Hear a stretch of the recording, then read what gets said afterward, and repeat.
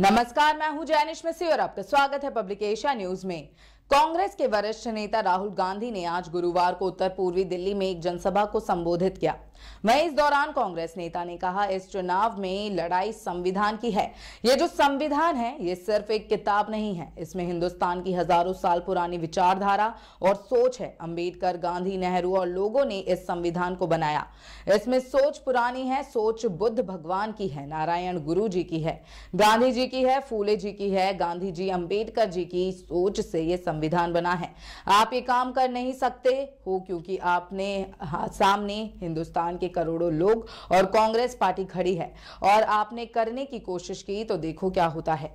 संविधान से आरक्षण निकलता है, संविधान से चुनाव होता है, पब्लिक सेक्टर निकलता है, जो भी आपको मिला है, इस संविधान ने आपको दिया है। और ये हिंदुस्तान के गरीब लोगों की मेहनत से बना है, इसलिए इसको हम कभी नहीं मिटने देंगे। राहुल गांधी ने कहा, ये आरक्षण को मिटाने की बात करते हैं। मोहन भगवत जी का वीडियो आया था कि उसमें वो कहते हैं कि आरक्षण से देश को नुकसान होता है। हमने अपने घोषणा पत्र में साफ़ कह दिया है कि ये जो 50 प्रतिशत की लिमिट है, उसे भी हटा देंगे, इससे ज़्यादा आरक्षण देंगे। मोदी अपने इंटरव्यू में अलग अलग बयान देते हैं। मोदी से इंटरव्यू में पूछा गया कि हिंदुस्तान में गरीब और गरीब हो रहे हैं और अमीर और अमीर हो रहे हैं। मोदी ने तीस सेकेंड सोचा और फिर कहते हैं कि क्या मैं सबको गरीब कर दूँ? कांग्रेस नेता ने पीएम मोदी के परमात्मा वाले बयान पर चुटकी लेते हुए कहा कि कन्हैया मुझसे मिलने आता है, बातचीत होती है। कभी अंतर्राष्ट्रीय स्तर पर तो कभी गरीबी पर बात होती है।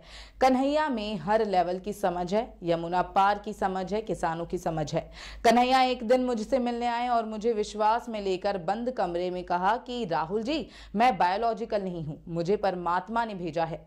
तो मैं कन्हैया से हाथ जोड़कर कहूँगा कि, कन्हैया, ये बात तू बाहर मत कह दियो।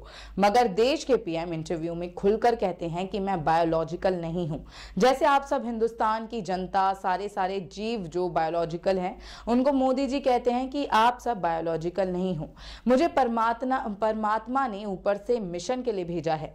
सड़क पर कोई कह दे तो लोग उसे कहेंगे कि भैया अपना काम करो। लेकिन उनके चमचे उस पर वाह वाह करते हैं। उन्होंने आगे कहा कि पीएम को परमात्मा ने कैसे भेजा है? कोविड के समय कहते हैं कि थाली बजा दो। कोविड के समय लाशें पड़ी थी, हज़ारों लोग अस्पतालों के सामने लेटकर आखिरी सांस तोड़ रहे थे। युवा कहते हैं कि रोज़गार चाहिए और मोदी कहते हैं कि नाली में गैस होती है, उसे नाली में डालो। पाइप में गैस निकलेगी, उससे पकोड़े बनाओ। पीएम सिर्फ़ 22 लोगों के लिए काम करते हैं। अडानी अंबानी को जो चाहिए, मोदी दो मिनट में कर देते हैं। रेल, एयरपोर्ट सब दे देते हैं। और गरीब जनता हाथ जोड़कर सड़क, शिक्षा और कर्ज माफ़ी मांगे तो मोदी सिर्फ़ देखते रहते हैं। मोदी ने अरबपतियों का 16 लाख करोड़ रुपए माफ़ किया। 24 साल के मनरेगा के बराबर ये पैसा है। 24 बार किसान का कर्जा माफ़ कर दो, उतना पैसा मोदी जी अरबपतियों को दिया है। यमुना पार का कचरा और सड़कें नहीं दिखाई जाती।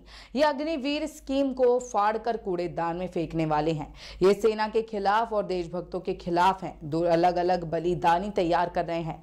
एक को सभी सुविधाएँ मिलेंगी, दूसरी ओर कुछ नहीं मिलेगा। ये मोदी लाए, सेना नहीं लाई। इसे हम खत्म करने जा रहे हैं। ऐसे ही तमाम खबरों के लिए देखते रहें पब्लिक एशिया न्यूज़। धन्यवाद।